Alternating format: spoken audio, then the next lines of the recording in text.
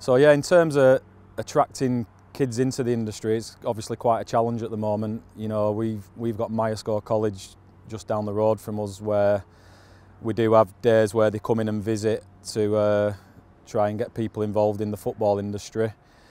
But yeah, in terms of schools, I think whether the club invites schools in every now and again to see what we do, to watch and learn, and maybe some kids might get involved just from seeing what we do. Because I know everyone turns up to football stadiums, and generally the first thing you say as you walk up the stairs into a ground is look at the pitch.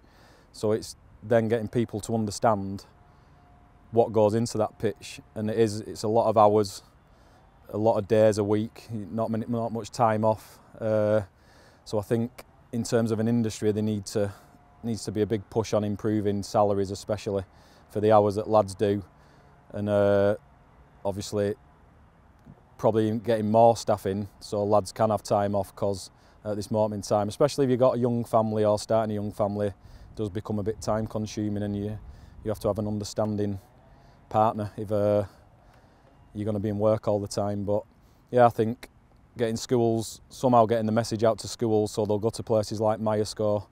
Obviously, Leicester have done massive work bringing in their uh, educational facility at their training ground. That's one way, but I think just spreading the word somehow and making it a much more uh, enjoyable proposition in terms of salary, hours, etc. Because it is a brilliant job.